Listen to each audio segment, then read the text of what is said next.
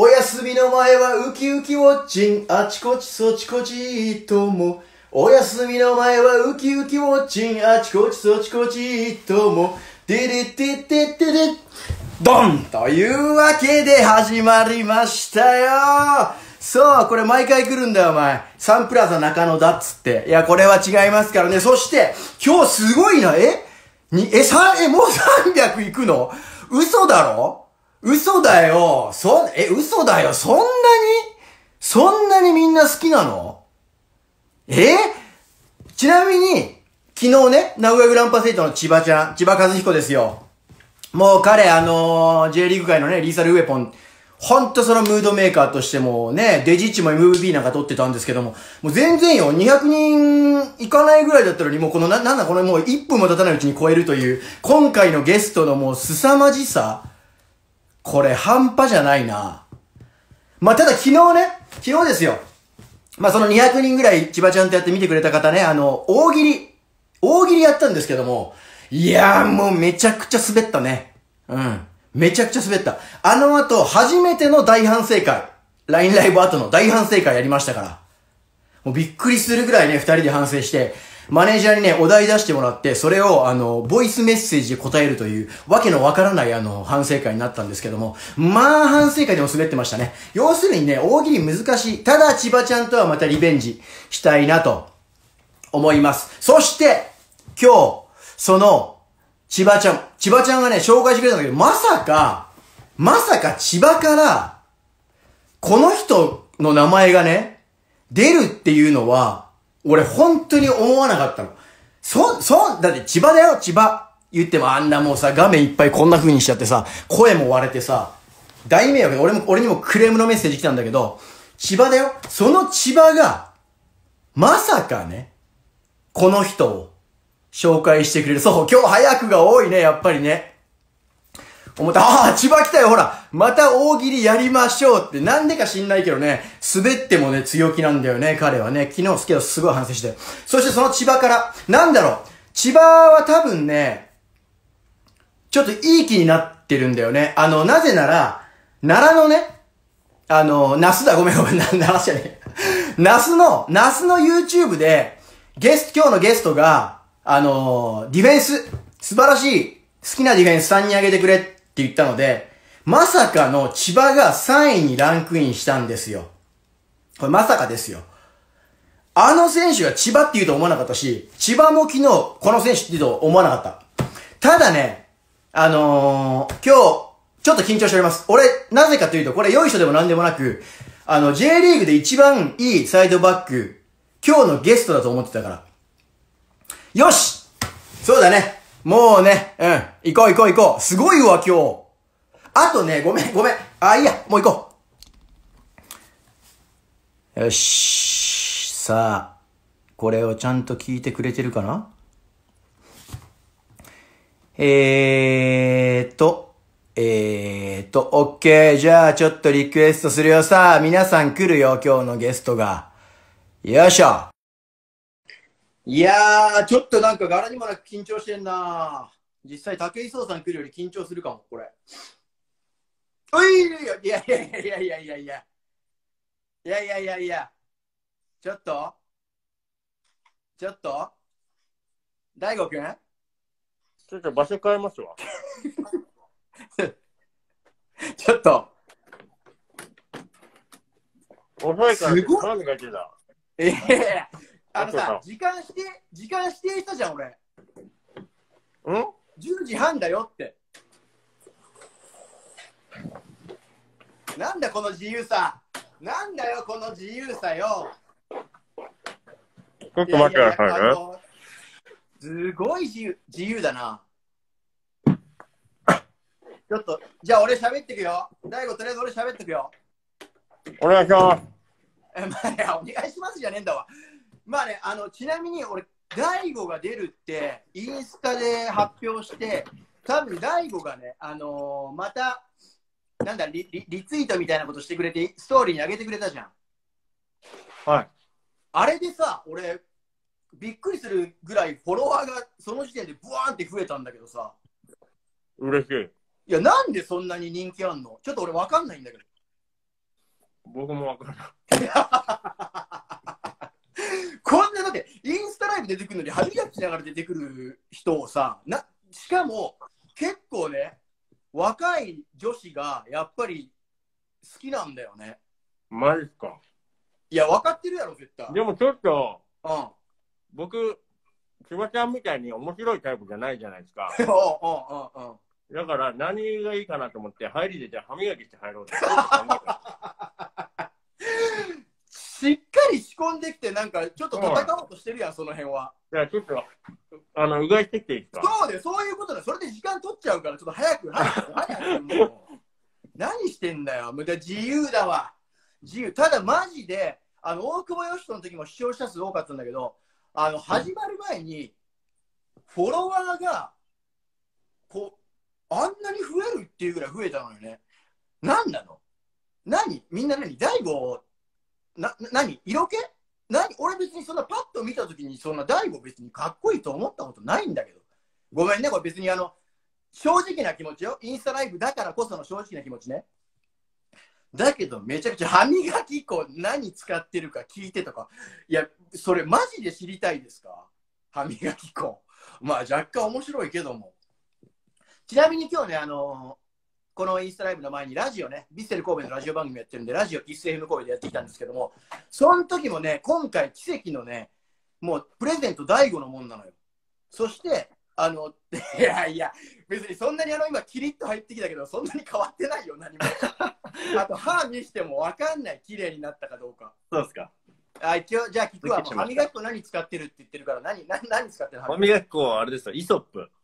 おおやっぱおしゃれね、その辺。そうなんですよ。おお、いやめちゃめちゃ形形から入るんで。いや いやあのね、本当にそれは感じてて、俺ね、はい。これだけははっきりさせときたいんだ。はい。サッカーはジャズって何？ねそこですか。何？それ何？俺、これ、これ聞いた瞬間、あ、こいつや、こいつやったなと。いや、それは僕、うん僕が言った言葉の中でもかなり気に入ってて。え？あじ、個人的に気に入ってんだ。そうなんですよ。え、な、なんで？な、何が？なんで？なんで自分でなんでかっていうと、サッカーって、あスポーツの中で、うんあの、一番かどうかわかんないですけど、自由度がかなり高いスポーツだと。まあまあ、それはあの、西大悟という選手が勝手にそれもやってるだけだけど。いや、だなと僕は思ってて、ああ、なるほどね。え、ちなみに、うんうん。はい、大丈夫ですよ。あちなみに、あの、いいよ、喋っていいよ、喋っていい。ごめん、ごめん。喋って？喋って。でえー、でも、こう、うん日本のサッカーと、うん。こう例えばスペインとか、うん。うん。まあ、海外のサッカー比べたときに、うん。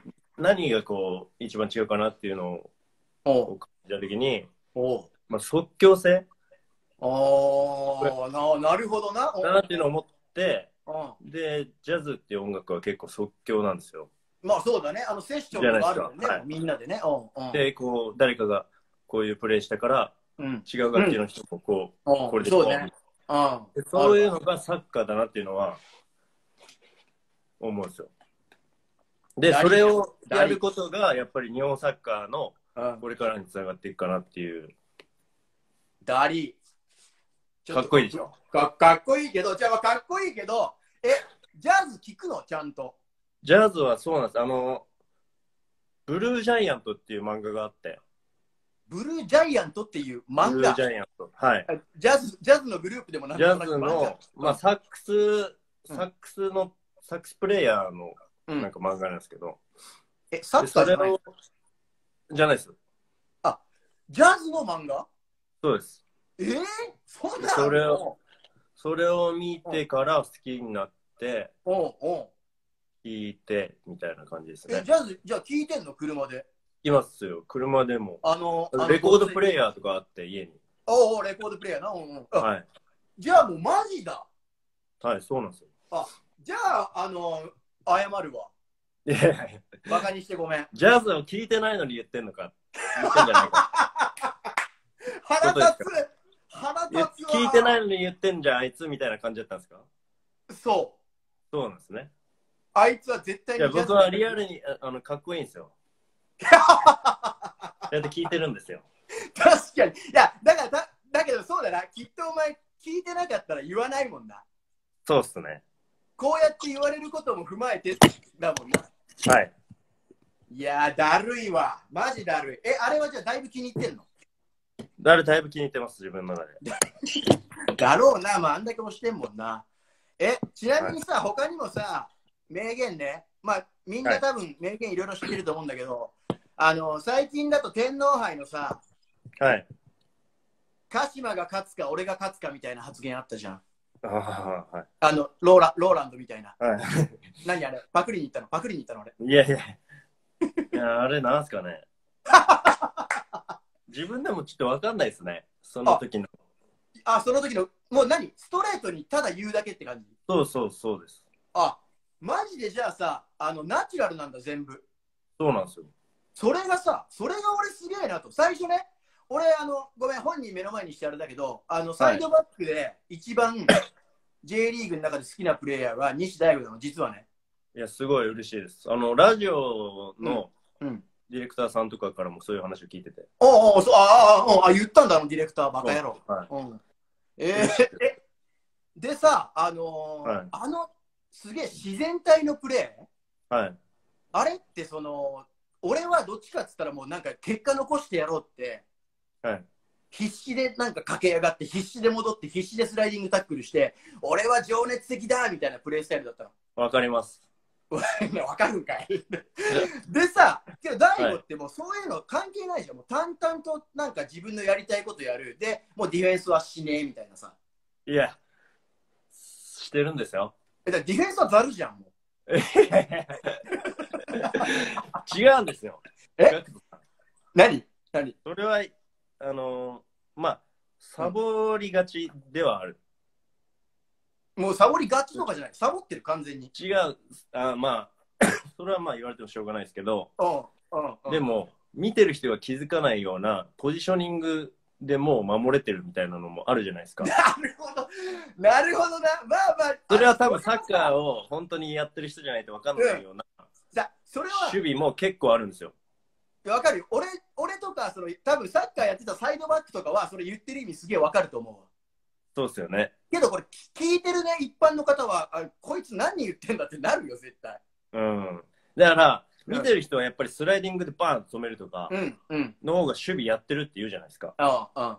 言うことわかる。大体言うことわかるよ、俺。うん。ね。うん。まあでもまあ、さ、まあ、サボってるかな。だ要するにあの北本邦恵のディフェンスはあの大したことないってことね、そうなってくると。いやいや。あのね、当時ね、うんハゲばっかりのディフェンスラインの時ありましたよね。ハゲてねえから、あれみんな坊主にしてるだけだあ、坊主ですね。ああ、そうそうそう、あったよ、はいあったあった。ピカット3とか言われてた時だろ。はい。見てました。でさ、あのラ、ラジオ業界にだけはさ、あの、来ないでもらっていいかな？いやーね、だって、また名前もさ、第五ズラウンジ？はい。みんな、ああ、第五らしいってなって、なんかちょっとうっとりしてたもん。なんなん？あれそうです。ね。あれ自分でつけたなんかいや、あのー、片平さんですね。自分じゃないんかい。え、けど何？ま任せます。あの、僕のイメージで任せますみたいな感 え、第五ズラウンジは気に入ったんだけど、ネーミングネーミング的に。じ。いや、なんか他にいい名前が思い浮かばなかったんで。あそこは出なかったんだ。第五そうですね。はい。なんかジャズとかにしなかったんだ、そこ。まあでもちょっと、うん、そうですね。ああんまり。いそうえ、ラジオ、ラジオどうだった？面白かった？や、あれも、うんなんで始めたかっていうと、僕がただ得する、得するもので、そうだろうな。だってあそうだよ。の、ね、内容的には僕が会いたい人を呼んでうんうん。うん話すだけじゃないですか。うんうんだから、その番組うん。うん。をするっていうことで、その、うん。普段会えない人にも会えるし、で、ついでにその話も一緒に聞けるしっていう。ああ。だで、まあ、それを、その話を人に聞いてもらったら、その人たちもやっぱり面白いんじゃないかっていう。ああああ、なるほどな。そうですね。はい。とうとう自分に自信ないとできないよ、やっぱりそこ。それは。マジっすか？いや、できない、できない。あの、俺だって、ラジオ、西大悟はラジオやるって言った時に、はい。俺めちゃくちゃいいなと思ったの。その、はいサッカー選手がラジオの DJ ってややることないから。はい。ただ、あの、西大悟、お前、なめんなよと、ラジオを。そんなお前、フィールド全然違うとこでお前、戦えんのかとはい。思ったら、あの、まあまあやれてたじゃん、普通に。やれてました？いや、いや、やれてたよ。あのだやっぱあ台本読みはちょっとね、か最初硬かったけど、はいはいはい。途中からはその、なんとなくその人と絡むっていう意味では、うん。すごい自然な感じで出出てるから。そうですね。ちょっと緊張感はやっぱ出ちゃうんですけど、どっちが緊張したの、まあサッカーと。いや、全然ラジオですよ。お前、怒られろ、サポーターからも。いやいや。いや、けど、あのーあの試みはね、はい。すごい俺としては嬉しかったし、あ、本当ですか。あんまラジオやりたいっていうやついないから、サッカー選手。はいやっぱ出ると、あのー緊張したり、え、何喋ったらいいですか？ってなるやつが多い中、なんか顔出た方がやっぱ緊張するし、気使わないですか？普通はね、普通は。ただ、あのやっぱラジオって声だけだから、はい。やっぱ難しいわけよ。あのあ、まあ止まった、止まれないとかね。そうそうそう。はい。まあもちろん間も大事だけどさ、はい。だから僕まあは本当になんかもう、普通に、うん。例えば一緒にご飯行って話してるようなノリでややりますって言ってたんで、ああ、別になるほどな。間があったとしても、それはそれでいいなっていう。いや、だからそんな風に考えれてやれるやついないのよ、J リーガー。まあ要するにさ、もうラジオもジャズってことだよね、そうなってくると。いや、いいこと言いますね。何？あ、今のよかった？なんかい。お前自分で言ったことだからいいこと言いますねって言ったから。いやいやいやそうですね。ジャズですよ。ジャズ。じゃあもう、ああいう自分の中でいろいろやりたいことっていうのは、もうジャズのセッションと一緒で、自由にポンポンポンポンやって、最終的に素晴らしいものを作り上げていくっていうイメージで、じゃあ人生生きてるってこと。そうなのかもしれないですね。まあ確かに。いや、この自然、この自然体すごいわ。全部をこう決められて、うん。こうやってやってくださいって言われたときに、うん。絶対僕よりうまくできる人はいっぱいいるんですよね。まあまあまあ、そうやな。うんうん。はい。うんし、面白く、ガクトさんも絶対面白く喋れるし、はい、お前今度ジュースおごってやるよ。ああ、ありがとうございます。ジュース会。うんうんなるほどね。だから僕が生きるのはそういう、うんね、形なんじゃないかっていうおお、いやすごいわ。けど、まあ、そんなちゃんんと考えてるわけじゃないですけど、多分なんかうん無意識にそうやってなってるまあそうね、かそれ考えて多分やったら面白くないわ。だいぶ。はい。多分サッカーもあんまり考えてやんない方がいいと思うし。そうですね。でも、あの、イネスタ選手とかも、イニエスタ、うん。僕何がすごいのかなって、もういつも、ね質問したり、まあ、二人してこううんメンバー入ってない時に、彼の隣で見ていいかって言って、もいろいろこう通訳返しながらこう話しながら見てたりしたんですなるどほど。うんうんうん。うんいやでもやそういうとこは、うん、あるな、大悟は。うんなんか、あれでしょ？要は、レアル・マドリードにさ、あの、3ヶ月行ったら、要は、レアル・マドリードの一員として全然やれるレベルまでいけるってことって言っていや。いけんじゃないかっていうのはそうだよね。うん。思ったんですよね、うんだから、いつもがナチュラルだけに、それを大悟がポロっていうことは、なんかちょっとね、なはいちょっともう腹立つんだけど、なんか実行できそうなんだよ、マジで。いやなんかやっぱ、一番大事なのはやっぱ慣れというかうん、うん、うん。そのなんか当たり前のレベルをこう上げていくことかなって思うので、うん、うん、うん。いやー、なんか、それは頭頭だと思うんですよ、うん、そうだな。うん。うん、確かに。もう考えるでか考えないかとか、プラスアルファ、それに要は考えて考えてやったときに、最終的にはそれが当たり前になってるってことだよな。そうですねだから、あの、やっぱレアル・マドリードとか行ったら、その脳になるから、大悟は、えーはいマルセロ、マルセロ、西大悟みたいな両サイドでできるってことね。うんじゃないかって思ったんですけどねその言った時いや、だはねって、レアルとやったとき、ちょっと、俺、震えたもあ最初2016年ですかねん。えっ、とね、にあの神戸に神戸に来る前、神戸に来る前。あ本当ですか？うん。で、レアル・マドリードと試合したじゃん。負けたけど。はい。いや、あでも、あの時はね、僕もやられましたし、ベイルに。まあまあ、やられたけど、はいやっぱり、いどっちかって言ったら、あ西大悟素晴らしい選手だなって印象の方があの時はう強かったですよーん。あれでだってちょっと思ったんじゃない？なんか、あれ俺いけるじゃんって思ったことあれもそうですし、うん。そその前にもういもう一回やってるんですよ、2016うん年。あれは準優勝した時。うんうんうんうん。はい、その時も、そうですね、自信になりましたね、すごい。わあやっぱりその一応大悟の中でもそのやっぱレアル・マドリードとかそういうチームはやっぱ特別は特別なんだ。いや、なん、うん、そうですね。対戦相手として見たときに。いやあんまりさあの大悟多分実際本当に憧れの選手とか俺いないと思うしお前の中で。そうですね。うん。だからなんかその他のチームをリスペクトはするけどうわこのチームすげえってなることないんだろうなって思うんだよね。うん、かもしれないです。うん、だろ絶対そうなんだよ。でもう多分、はい究極のバカなんだと思うんだけど、俺は。それは初めて言われた。いや、究極のバカだと思うよ。けど、突き抜けてるから最強なんだよ、それは。うん。で、しかも突き抜けちゃった上にそれがナチュラルだから、厄介ですね、。あの、最強の、一応最強の称号はやるわ、サッカーでは。俺、いや、俺渋谷ちゃんとやりますから。最近ちゃんとやってるんですよ。いややん知ってます？最近やってるんですよ。最近やってんの？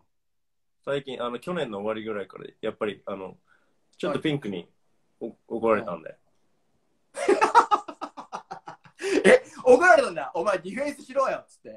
ディフェンスしろというか、うん。こう、まあ、逆、豪徳が結構インテンシティが高いじゃないですか。おそうだな。うん。うん、まあ、こっちからちょっと無駄な動きが多いっていうところもあるんですけど、その分ね、やっぱこう、酒井、え、酒井豪徳は無駄な動きが多い。あのね、ぼなんていうかな、何？あの走行距離とかすごい多いんですよ。多いな、多い。うん。で、人がいなくてもちゃんと絞ったり、おう、うん、わかる。あのえ、まあ、セオリー的な動きをちゃんとやるから、まあ偉いなそれはそれで偉いなと僕は思うんですけど、僕は人がいなかったらコメントすぎてるわ。うん。人誰が無駄やいな あで、ごめんごめんたくないんですよ。あ で？そう、人が、あの、裏を狙ってなかったら絞りたくないんですよ。まあまあ、わかるわかる。うん。うんはいだって意味意味ないもんな、ある意味。そうなんですよ。うんうんうん。だし、まあ、本当はこう、パスコースを作って、うん。そこから上がっていかないとダメっていう時もあるかもしれないですけど、うんうんうん。なんか、僕のとこを使わないで、他経由して前にいても、これ来るなっていう時とかも戻んなかったり、なるほど。いや、そのね、タイミング感は、あの、これ、これ聞いてる皆さん、お前は黙れって思うかもしれないけど、俺もあったのよ。その前に行くタイミング。うんうん。あの、自分でしかちょっとわかんないじゃん。あ、この流れ、この流れ、この空気感、相手のポジショニング、これ、はい。こっち、このサイドにこのタイミングで来たら、あ、間違いなく大チャンスだった時あるじゃん。はい。だそれを狙うってことでしょ、要は。そうですね。狙ったり、そう、それってさ、裏返しさ、狙ってる、俺とか言ってる意味わかるけど、はい。それやっちゃうと、要は、変なところで取られたりしたときに、まあ、あれ、リスクではあるんですよそう、ね。あいつどこにいんだってなるじゃん。はいはいはい。そのリスクはどうなの？うーん。取られるやつが悪い的な、それは。いや、そうは思わないですけど、うん、うん。うん。だそこもできるだけそのリスクを取らないように、うん例えうんば、イニエスタが持ってんなら行くかとか。なるほど、なるほど。逆に今日はあいつちょっとカッとなって、うん取られてるけど仕掛けすぎだなっていう時は行かないとか。なるほど。あ、そういうの見てるんだな。うん。いや、ジャズだね。ジャズだわ。俺の言葉にしたいわ、これ、畜生。ちなみにちょっとね、ごめん。あの、質問が来てるから、そうですね。拾ってって言われてます。えっ、ー、と、まずじゃあこれいこう、最初に。結婚観について語ってください。結婚観。まずね、あの、俺、俺も独身だだけど、はい。あのー、大悟ってね、もうね、わかんないのよ、その、多分俺、女の子付き合ってもお前のことわかんないと思う。そんなことないと思いますよ。だって言われるんでしょ？お前、ジャズだよ、ジャズって言われるんだよ。即興性だよって言われたら、ね、何も、ね、できないですよね。そうそうう。そう、そうなるとそうできないのだけど、それに合わせてくくるような子がいいってことでしょ？うーん、でもね、意外とね、僕は、あれですよ、普通ですよ。あ、そうなの？え、結婚はしたいの？はい。え、じゃあ、これ見てる人、うんあれじゃん。もうワンチャンあるじゃん、ワンチャン。いや、もちろんありますよ。いいね。今の多分めちゃくちゃ聞いたと思うよ、見てる人。だる。オッケー、じゃあ結婚する気はあると、そしてこの目、ここでもワンチャンあるってことね。次えー、オッケー、じゃあこれいくね。はい、こう。最近家で何をしてますか？うーん。何してんの？マジで。あ、でもね、まあ、こういう時なんで、うん。料理って僕、全く、全くしなかったんですよ。おまあまあ、いや、でしなかったですわかるよ。大体し絶対しないなって思うでだって僕、去年まで住んでたところも知ってるじゃないですか。知ってる。あんなとこ、よう住んこれも、まあもう時効だ、もう住んでないでしょ、今。まあまあまあ、もういないんで。いいそうでしょ？だって、これ言っていいんだよね、別にね。はい。でいいですよ。え、だって去年まで西大吾、ホテル、大倉よ。はいはい。大倉に住んでて料理なんかできるわけねえじゃんだって。そうです。キッチンないですからね。いや、けどそういうとこも変わってんなと思ったけどな、こいつすげえな。やっぱ一人で、まあ、移籍してきて、うんうん。こう、やらなくていいことを全くやんなくていい環境じゃないですか。まあもちろんもちろん。うん。掃除しない、うん、そうだな。そういうストレスは全くないわ。はいないので、ああちゃんとお金だけ支払えばな、そりゃそ。うですね。でもちょっと高かったですね。やっぱり。お前、お前もこれで怒られろ、大倉の人にお前。いやいや、もちろん、うんそうですね。よくだしてもらって、本当によくしてもらった。本当によかったです。はいけど、高い高いっつったってもうお前いくらもらってんだかってお前言ってみろよ、ちょっと年俸お前。いや、そんななんですよ。嘘つけ本当にこの、これについては、まあ、二人の時に話したいです。オッケーオッケーオッケーオッケーはい俺がなんとなく、あの、また二人に話した後になんとなく言うわ。じゃあ。はい。え、じゃあ料理ね、最近。そうそう、料理を、うんまあ、した方がいいじゃないですか、こんな時なんで。まあそうだね。なんか得意料理できた。得意料理は。いや、もう全くしなかったんで、うんうん本当にできないんですけど、うん。うーん、なんか、やってますよ。でかなり上達したと思います。おそう。じゃあ、はいあの、ブ今日ブラ今日もさっき、あの、か、まあ今日は簡単ですけど、うん鴨ネギうどんとか、いや、鴨とネギ入れてうどん茹でるだけじゃねえかよ。いや、それもね、やってない人からすると分かんないですよ。それ料理じゃなくて調理だからな。それ。料理じゃねえから。それ。マジで。昨日は、うんえー、なんだろうな。鶏鶏肉のなんかポン酢ソテーみたいなのとか、ポン酢ソースの。ポン酢を何？え、鶏肉を焼いてポン酢をかけて食べるってこと？ポン酢の、ポン酢となんかこう混ぜて、それであえあえてソテーしてみたいなとか、お、ああ、その、あ、あえた後に焼くんだ。そうそうそお前、大悟ズキッチンとかも狙ってんな、これ。う。いやいやいや、そこはあんまりです。あそこはあんまり、あそこはあんまり。今、大悟にはまんなかったな、びっくりした。なるほ。ど。じゃあ、料理、OK、これからもじゃあ料理ということで。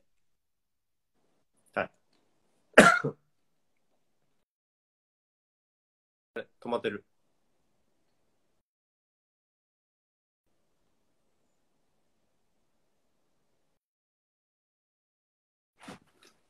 ちょ、充電。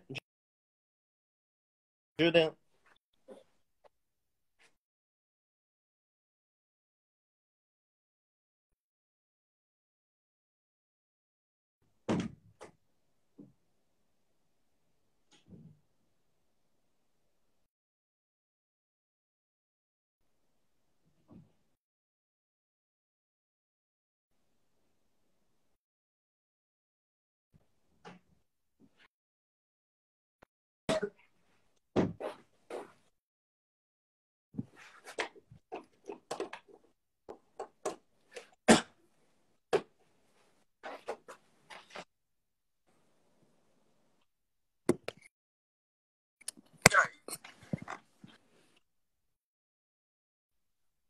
来ました。移 OK。籍を決めた理由。大丈夫ね。そうそう、は移籍を決めた理由。うん。えー、っと、なんですかね。まあ、やっぱりイニエスタ選手とかでですよね。ああ、やっぱ金金ではなかったんだ。もちろん。じゃないですか。なるほど。イニエスタが、もう、イニエスタがいるから、あのーやっぱり。なんですかね、鹿島にうんいて、まあ素晴らしい時間過ごしましたし、うん成長させてもらったんですけど、うん。まあこっからを考えたときに、うん。うん。やっぱり彼のような選手と近くでやりたいなっていうなるほどあ、はい。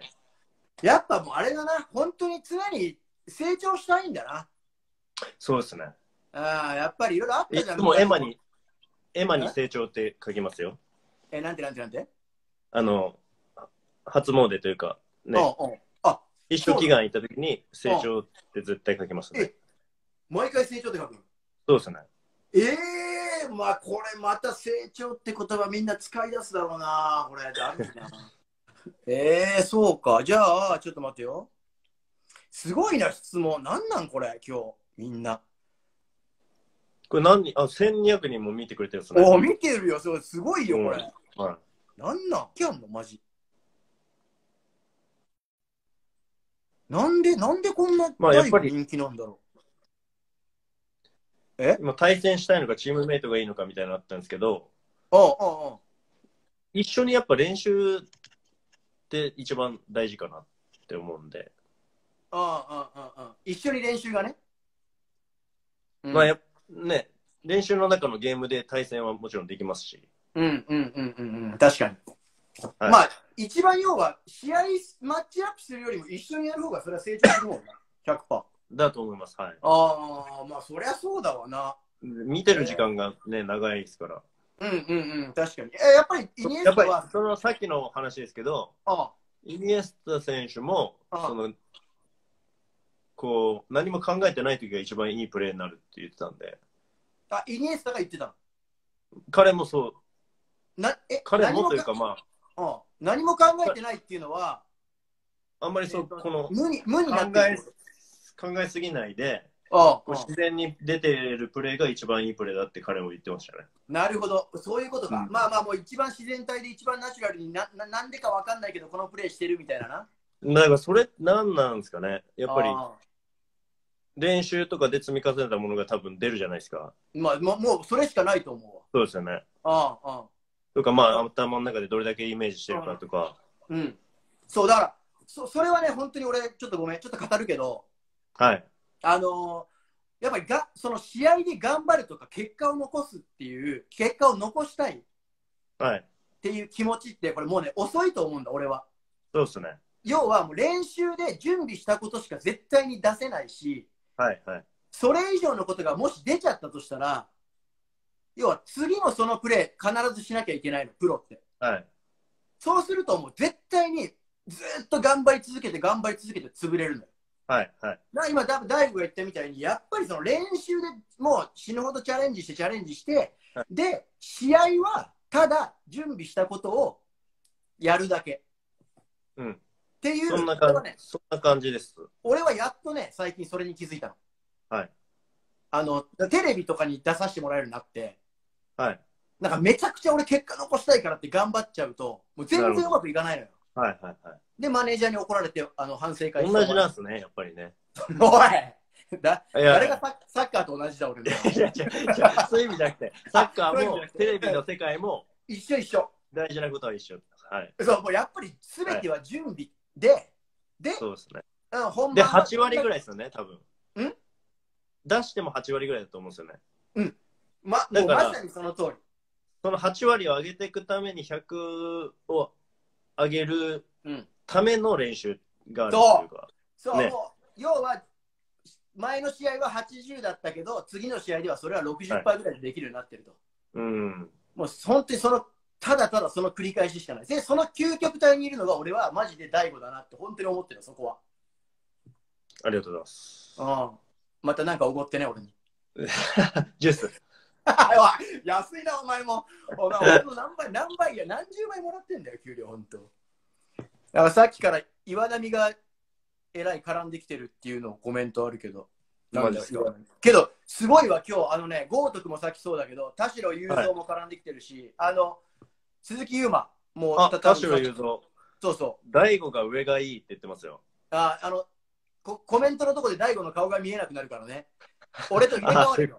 そういうことか。そうやかましいわ、言うぞ。そうそう、なんか、ここから、なんかひ、ああ、大悟スマイルさ素敵ってやっぱ来てんな。やっぱり、なんなん大悟スマイルって？何一い体。や、なんなんすかね。けど、なんでだろう？なんで若い子に人気だ？俺ね、大悟がね、その、おばちゃんとか目上の人にモテるならわかるけど、なんで若い子が大悟好きなんだろうなと思うんだけどな。結婚してないからでしょ？あ、しえ、俺もしてないよだって。ああ、そっか。あ、そっかじゃねえよ。あちょっと濃すぎるんですよね。ちょっとね。濃すぎるとダメなの、やっぱり。いや、僕からすると、めちゃめちゃ絶対イケメンですよ。いやそうやんな。うん、僕とか多分男から見るイケメンですよね。そうだよな。絶対そうだよな。だと思いますよ。はい。え、え女女から見ると？いや、わかんないですけど、うん。もちょっと濃いのかな。うやっぱ俺も顔がジャズしてんだよ、これ。ジャズですね。顔がジャズしてんの。顔ちょっと強すぎるんですよね、音が。くそだなんでダメ出しされなきゃいけないんだ、俺、畜生。なるほどね、そうか。いや、けどすごい、もう過去一番多分 J リーガーとかそういう現役選手からコメント来てるわ。あ、本当ですか。だって1315なんて俺、あの味わったことないもん、このかこの感覚。嬉しい。1315人が、あ、ピッツェリアアズーリは行ったことあるピッツァアズーリ。あ、ありますよ。アズーリの人も今、はい。おお二人とも素敵ですけども、あそこのピッツァ最強だよな。美味しいです。美味しいよな、やっぱそうだな。美味しいです。ななんでちゃんとサイン書いてますよ、僕も。あ、サイン書いた？はい。俺もあの、生きてルーカスの上ぐらいに書いちゃった、俺。下でしょ。そうやな。普通はな、そういうとこダメなんだよな。うんいやー、すごいわけど、これもっと喋ってたいな。あとさ、大悟、はいあそこも行くでしょ、元町の中華の上林。行きます。あそこ最高です、ね。俺もあそこ行って行ってたの、行ってるあ、の。あれでしょ？ラジオのそうから近いですもんね。そうで、そこであの西選手来てくれて、あのはいはい。最初最初全然喋ってくれないかなと思ったんですけど、めちゃくちゃ喋ってくれるんですよって、そうなんですよ。はい。そう言ってくれて、あそうか、こういう店員さんとも気さくに喋れるんだ、大悟はと思って、あのね、一人でね、行くことが多いじゃないですか。うんうん、間違いない。うん、で、店員さんと仲良くなるのが好きですね、結あ構。とか、あののー他のお客さんとか。おーお他のお客さんと喋んの？もう、もうなんか何何回も言ったけど、本当ジャズじゃん、お前。いや、おじさんと仲良くなってとかも全然。ええ僕ね、鹿島時。代も、うん。あんまり言ってなかったんですけど、うん最後3年間ぐらい東京に住んでて、うんうんうん。で、それもまあ人にね、やっぱり会いたいっていうの。ああ、なるほどね。でまあ、本当にそこだもんな。人生って人だもんな。そうです。やっぱりね鹿島にいるよりは東京に人が集まると思うんで、うんうんうん。まあ一人でそうやってご飯食べに行く中でいろんな人と出会って、うんうん。まあそういう中で聞いた話とかは、まあい今にも本当に生きてますし、好そうだな。まあもう、はい本当じゃあ人好きなんだな。きですね。いや、すごいな。いや、全然じゃあちょっと印象とやっぱ違ったな、そう考えると。あ、本当ですか？おーもっとクールで、なひたすらブラックバスとなんか喋ってるなってそう そうですね。思ったわ、本当に。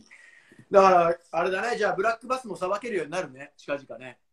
ブラックバスもそうですね。食べ、さばけるよ食べる最近うん食べるもんね、なんか食べる人いるもんね。食べるとこもありますよね。食べるよね。食べた方がやっぱり残していけますよね。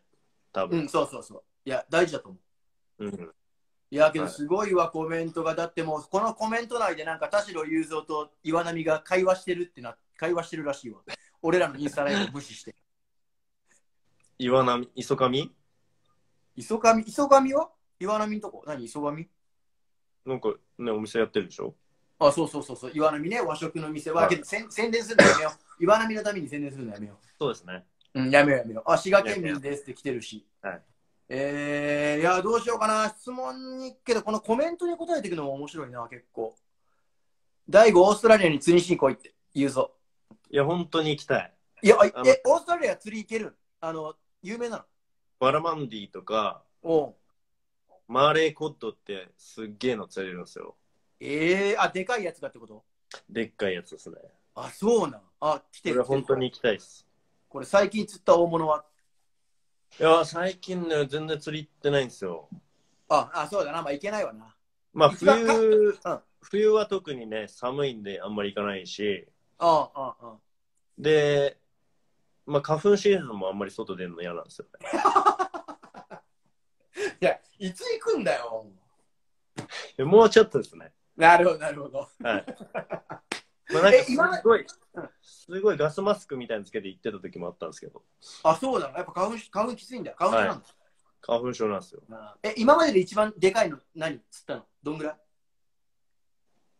今まで、まあ、ブラックバスだと57とかですかね。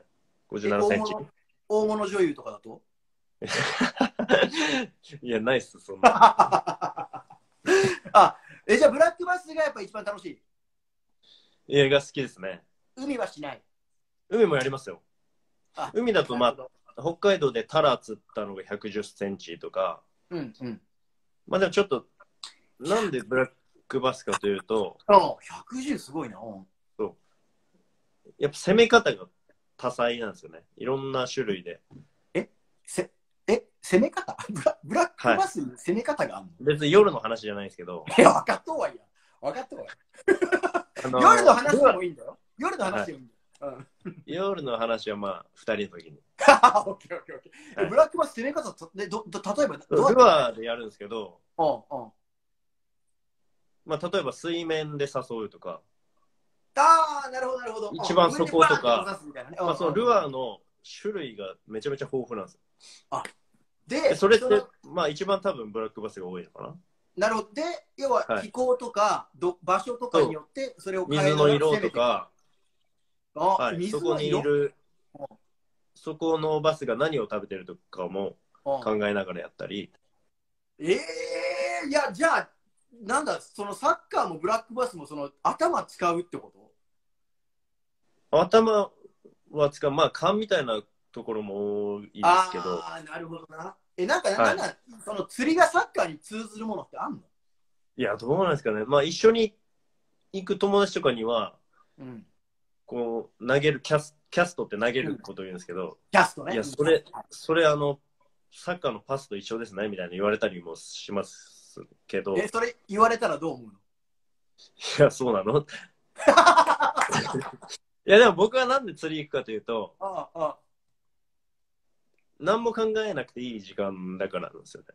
えっ、と、釣りしてる時がってことね。時が釣りのことしか考えてないんで、おおおおなんかサッカーのこととか、うん。そんなのをまあ一切考えなくていい時間。サッカーのことなんか大して考えてないだろまあまあまあ、そうですね。う。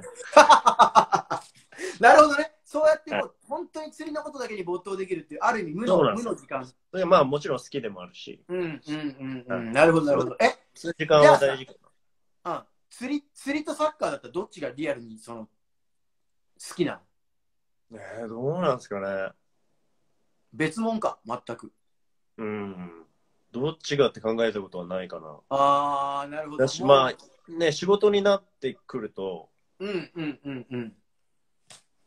また違うのかな。まあそうだな。けど、うんあるじゃん。セカンドキャリアでバス、バスのプロ、バスプロ。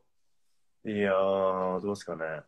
ラそれをまた仕事にしてたらどうなのかっていうところもあーある。ラジオやりながら、暇な時にバス釣り行って、まあまあ、それは最高ですけど。ほ んで You- YouTube 食えます？それ。え？食えます？それ。いや、じゃあそのさ、やっぱり、あの、西大吾がさ、月にどんぐらいあったら食えるか俺は知らないけど、多分、や お前200万ぐらいないと無理なんだろ、どうせ。あー。200 200万はやっぱラジオで稼ぐっつったら相当よ。もう、そうね俺なんかお前、その、お前10分の1も稼げてねえんだからよ、お前。お前、言わすな。言わすな、バカたれ。あーああじゃね、ああじゃ納得すな。ラジオやめよ 金で選ぶなって、お前さっき金で選ぶんじゃねえって言ってたじゃないか、自分でよ。なんだよ、それ。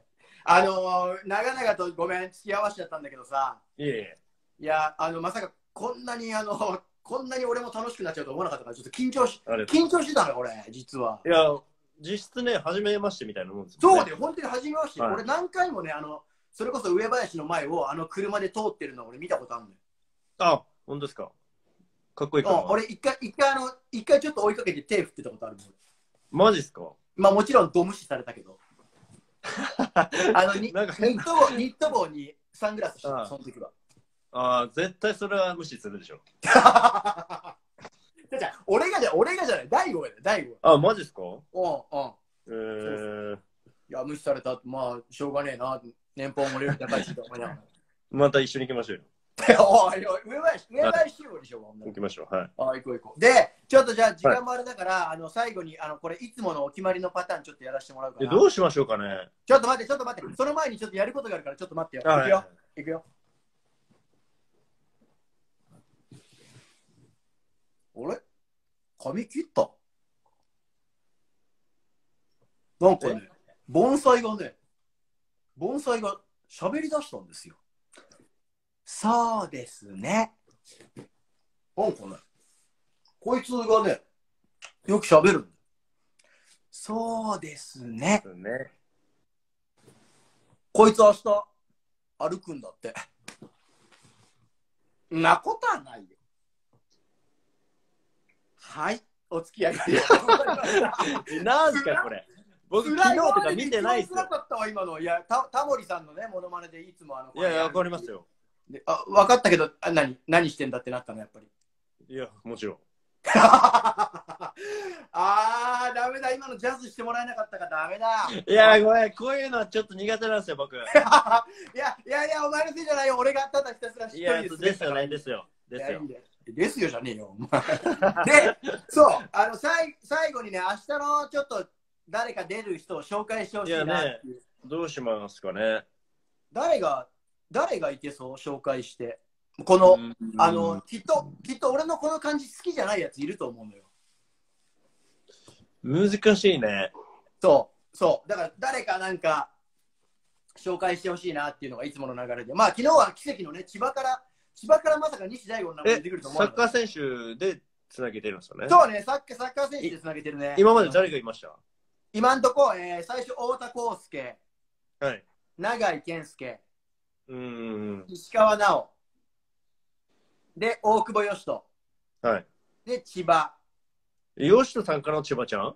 嘉人からの千葉。えー。嘉人に関してはなんかね、最初、武井壮を紹介しようとして、はいはいはで、その後、佐野岳紹介しようとして、い。はい。で、もちろんやっぱ断られるよね。もちろん断られるよ、そので、はい最後はもう世界のスーパースター、千葉。和彦 そうですね結構早めに僕来てくれたんですね。嬉しいのそうだから、俺も西大吾行きたいなと思ってたの、正直。はいはいはい。でもこんなに早くと。そうなの、こっちからそれ言ったらやっぱちょっとダサいから。だから、いあれだったけど、その千葉が急にそれで言ったから。いやいやいや、はいもう本当にありがたかったよ。で、で、西大吾は誰、誰行く？いや違うチームがいいね。まあ誰でもいいんだけどね。全然、同じチームでもいいし、そこは。うーん。鈴木優馬？ユーマいいけるの？ユーマいける？どうですか？いやさっきなんか見てななかった、あいつ。いや、見てたの。最初コメントしてて、ちょっと俺がそのコメント無視してたから、みんなユーいましたよね。あ、ユーマ拾ってあげてって言ってたえ、鈴木ユーマ見てるかなこれ、今。ユーマ見てたらちょっとコメントしてよ。絶対あいつね、や嫌がりますよ。え、そんなら、じゃあ、ちょっとあれやん。あのー、かわいそうじゃない？俺。いやいや、大事ですもん、こういうの。いやいや、まあ、本当にそうなんで、今、J リーガーは、あの、今、こういうことやってね、あの、せやっぱり、みんなを盛り上げるってのは絶対大事だから、え、ねユーマ見てるのかな？見てないかな？あいつ見ててもこれコメントしてこないですか？あ、らコメントしない。あ、じゃあ、ユーマ、鈴木ユーマ第一候補にしようよ、そこは。ユーマで行きましょオッケー。で、まあ、う。ユーマ今ねが、日本帰ってきてるんで。あ、そうなん。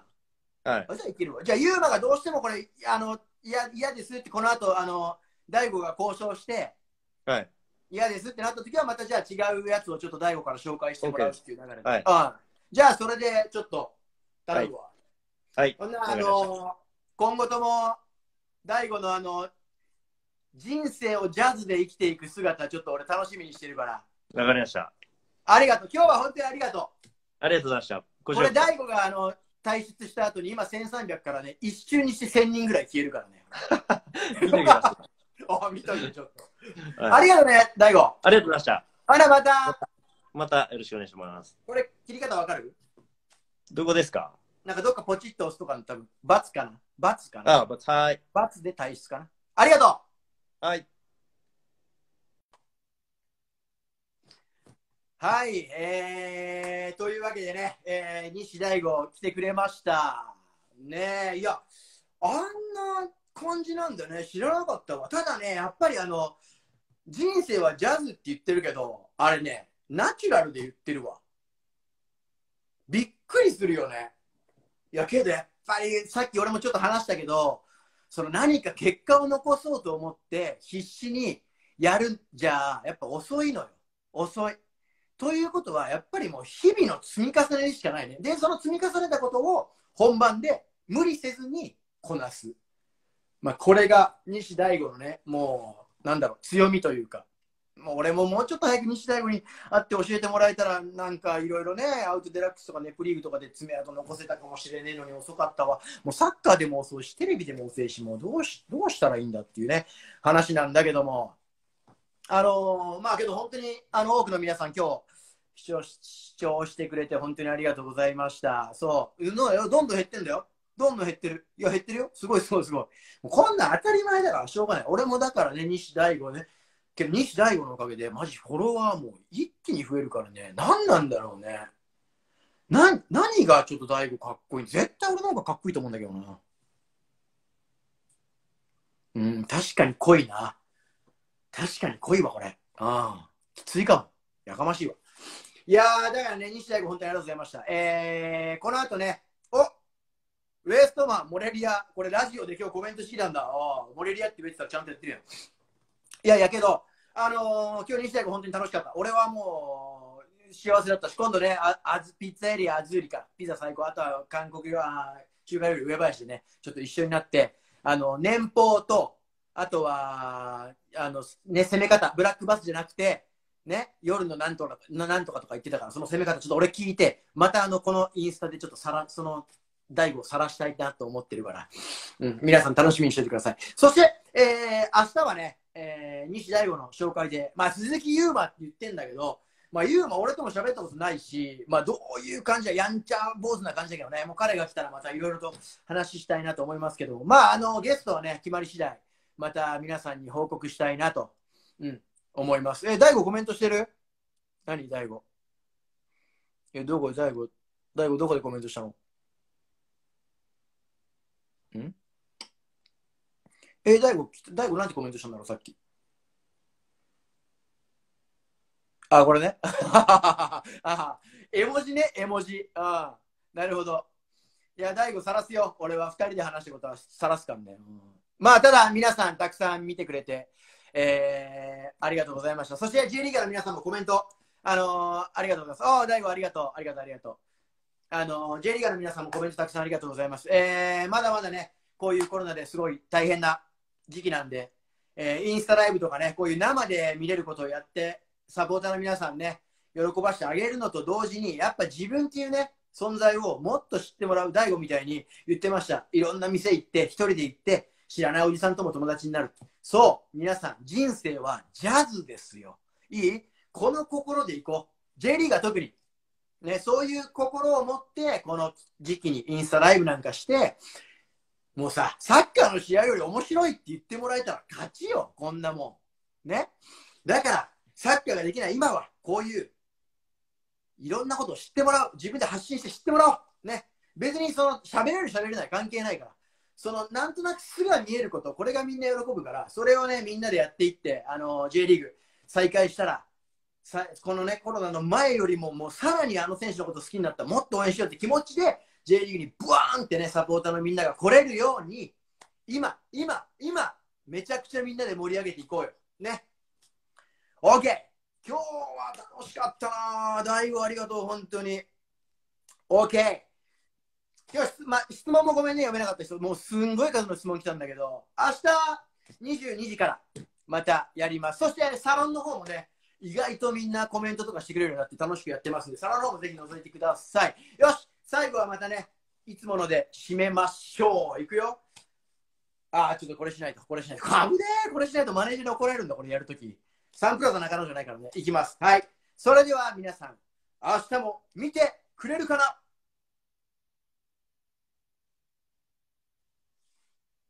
またさ